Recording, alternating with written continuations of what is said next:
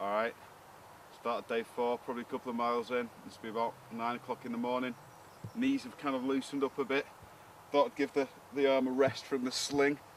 Nice brown arm, newborn fish. See straight through it. it's gonna look good. Also the beard's gonna look nice when I shave that off tomorrow. But yeah, so feeling good. Probably about 13 miles to go. Hoping it'll be finished by about two-ish. Find a pub. Pub that's open, that is. It's been a tough old couple of days, but today, final day, we're three miles in now to the 14 mile journey, so 11 to go. Uh, hoping to be there just after one o'clock um, and see how it goes from there. But constant walking, bring it on.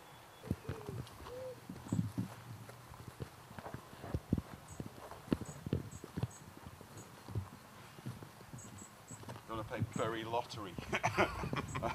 I'm not sure if they're poisonous, but you first. Does it like blueberries? Yeah, get one. Here, I'll pick one for you. Down in one. the camera hits the deck pretty soon. Here it is the uh, national trail symbol.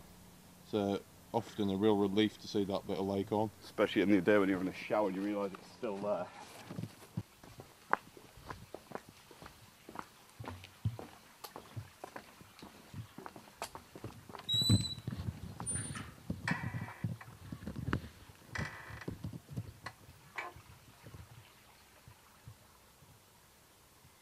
River Eden. I'm holding this gate with my bad arm.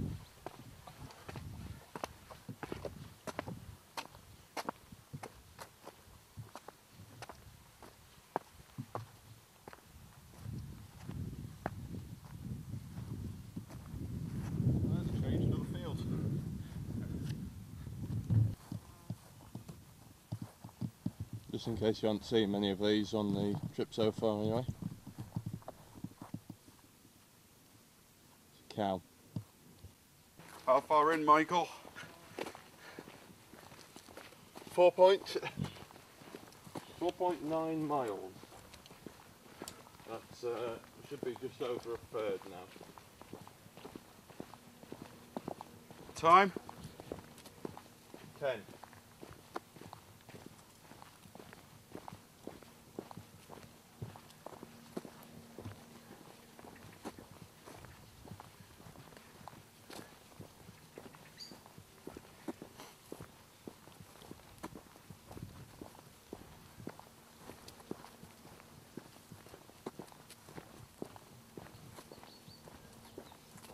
See, Michael is still walking like a mountain goat, whereas I'm walking ah, not as much like a mountain goat, as you can probably tell by the wobble on the camera at the moment. It's another cracking day.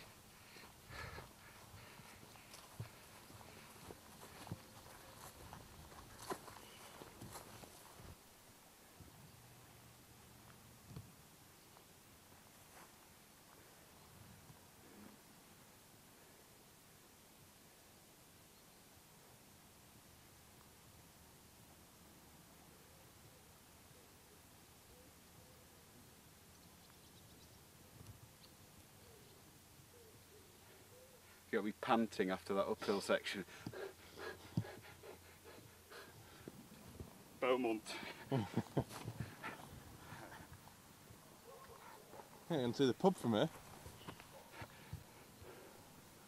About quarter past ten. Right, that's going to be open.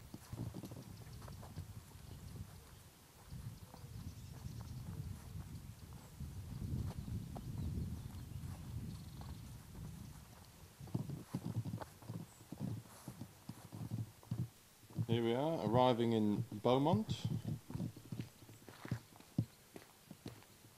Job's a good one. Jobs are good.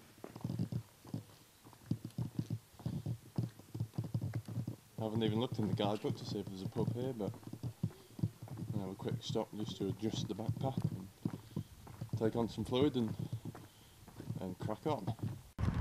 Got Jeff there. In a very dangerous area here. A lot of deep crevasses and pitfalls, and Jeff just walks off. No consideration for others.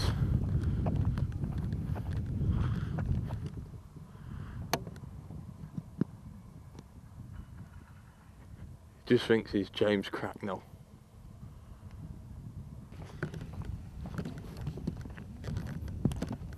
P.S. In no way that makes me Fogle. No way.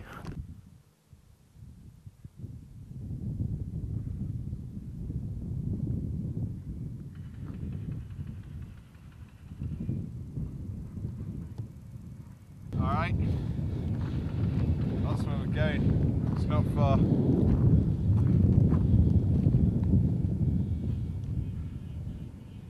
About about two hours ago took an extreme diversion, adding four hours to our day because that's the way we roll. Slash took a wrong turn. Morale was low. So it's turned our 14 hour day, well 14 mile day, sorry, into an 18 mile day. But we've just absolutely nailed the last three miles at about five miles an hour, which is ludicrous. So all on the next village and public house hopefully. Right, here we are at Drumburgh. Going into the sound now, not far to go.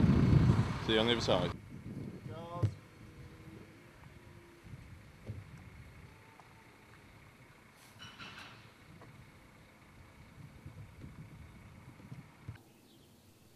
Right, so about four miles to go. We found somewhere we can get ice creams. It's not far. Morale is high, Good ice cream. but it just got higher. Bird fecal matter. oh, this trip's been perfect. That's what happens when you sit under a crab apple tree. But um, bum.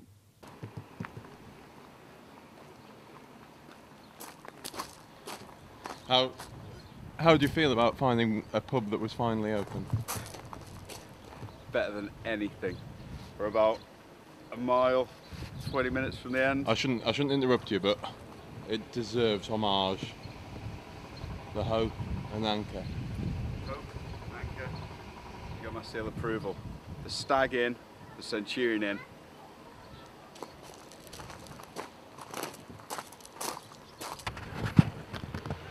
Seems quite apt to uh, video a bit of the uh, closing stages here. So we're uh, just leaving Port Carlisle. Um, you can see there some of the uh, portage. Don't know if that is the technical term, but The technical, technical nautical term, portage. yeah, good portage. But uh, that's it, and we've got roughly Miles Aye. go. a mile and a bit to go. Now, uh, we are going to have to slow down. There's a sign. Three and a half days. Three and a half days. Just under five hours walking time on the second day. Nearly 16 miles. And here is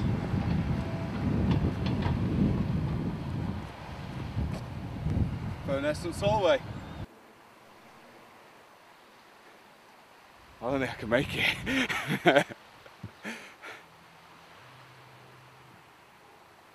May as well do it.